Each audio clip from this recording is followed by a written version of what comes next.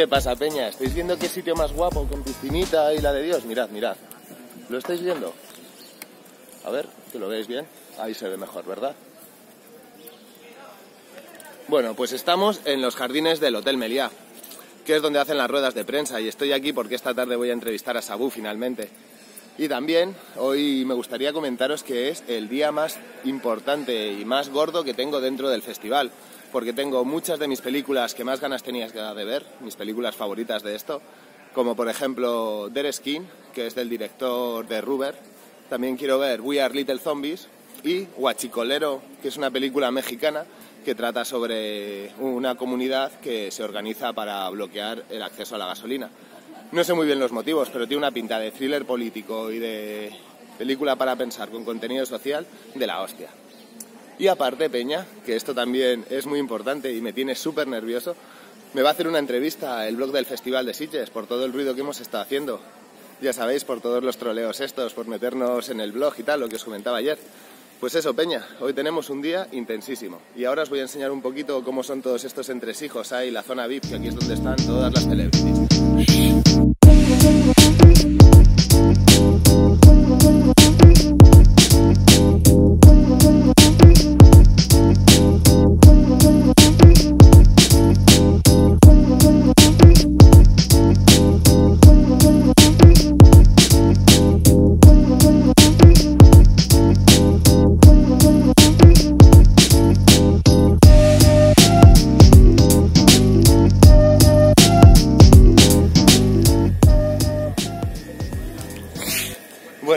Salgo de verme Dead Skin y no sabéis qué jodido peliculón.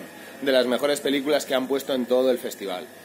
Pues nos cuenta la historia de un tipo que se compra una chaqueta de ante, de ciervo, y eso como que le va cruzando los cables, empieza a hablar con su chaqueta y al final acaba volviéndose una especie de asesino en serie. Todo esto además animado por una mujer que le va diciendo que grabe escenas donde haya extrema violencia. Una película muy rara, muy ligera, que apenas dura 75 minutos y que se ve, pero agustísimamente. Sobre este director os puedo decir que todo su cine es súper extraño. En plan, si recordáis Ruber, la película va sobre una rueda. Y tiene otra película que se titula This is not a film o algo así, que nos habla justamente sobre una película antipelícula. En plan, es un director muy interesante y os aconsejo que le ojéis. Y ya está, Peña. Ahora la siguiente es Little Zombies. A ver qué tal.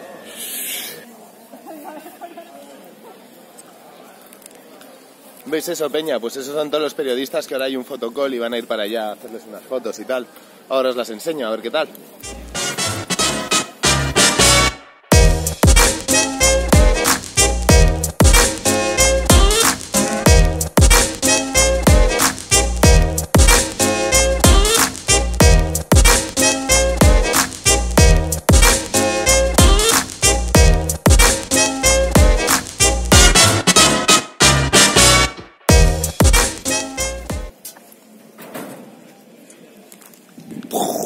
¿Veis cómo se han cerrado las puertas, Peña? Pues eso es que acabo de salir de la sala, el último. Y vengo de verme la película Little Zombies. Bueno, We Are Little Zombies. Y la verdad es que ha sido como ir en una montaña rusa. Uf, empezó muy bien, ya que la, yo que sé, la idea original a priori es muy interesante, ya que nos cuenta la historia de cuatro chicos a los que se les mueren los padres y que deciden juntarse en una crew para intentar llevar mejor el luto.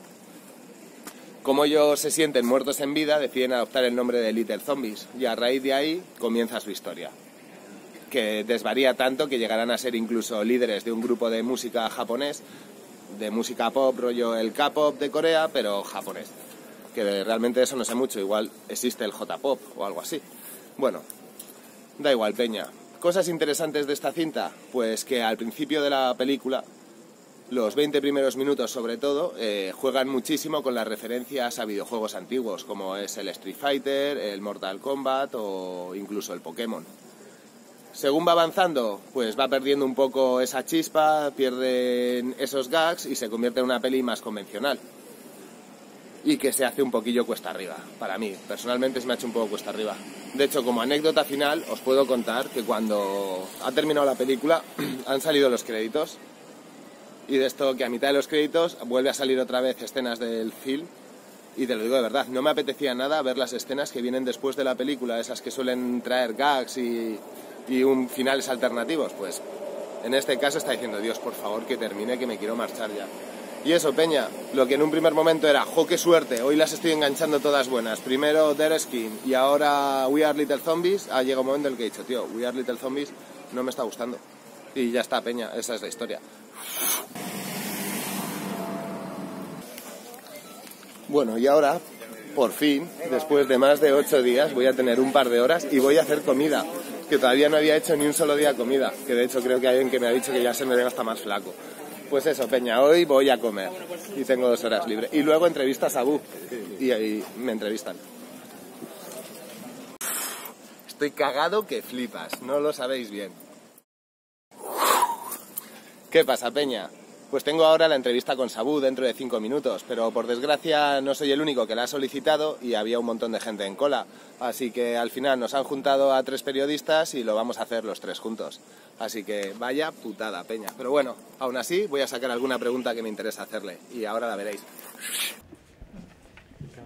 Luego, un- una pregunta es un poco personal, es por qué se llama Sabu y si se pronuncia Sabu o, Sa- o Sabu. あのごめんなさい、サブさんの発音の仕方を教えてください。また、なぜその、まあ、ニックネームといいますか、あのサブさんと呼ばれているのでしょうか？あだからそうそうですねその昔役者やってた頃にあのやヤクザ役とかでサブっていうあの役名だったのでそれがニックネームになってます。で、サブなのか、サブなのか。あでもそれはもうご自由に。だ50細けないです。細けないサブ。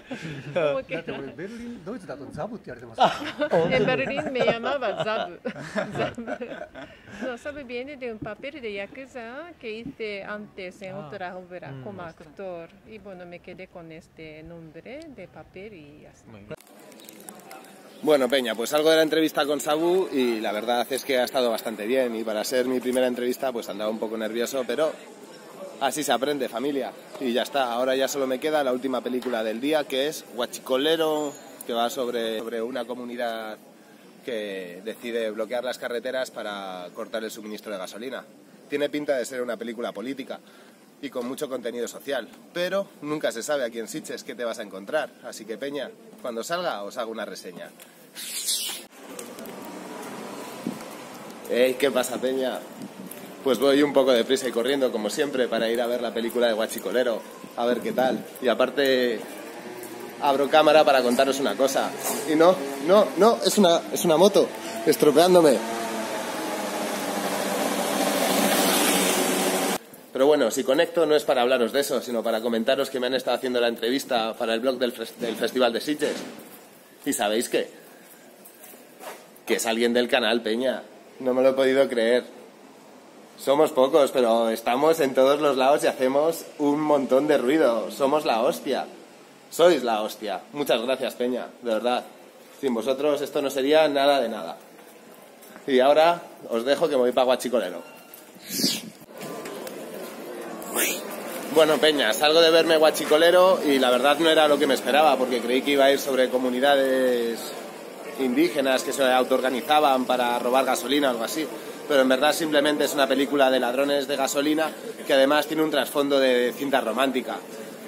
Que el motor de las películas sea el romance a mí nunca me ha gustado mucho y como en esta pasa me ha faltado algo para que terminase de empatizar. Aún así es una buena peli y trata de una manera bastante cruda temas sociales que son bastante interesantes como yo que sé, la miseria que se vive en esas comunidades indígenas y las distintas formas dentro de la clandestinidad que tienen que tener para poder sobrevivir. Y ya está, familia. Una peli interesante, pero que se me ha quedado un poco a medias. Y ya está, mañana más.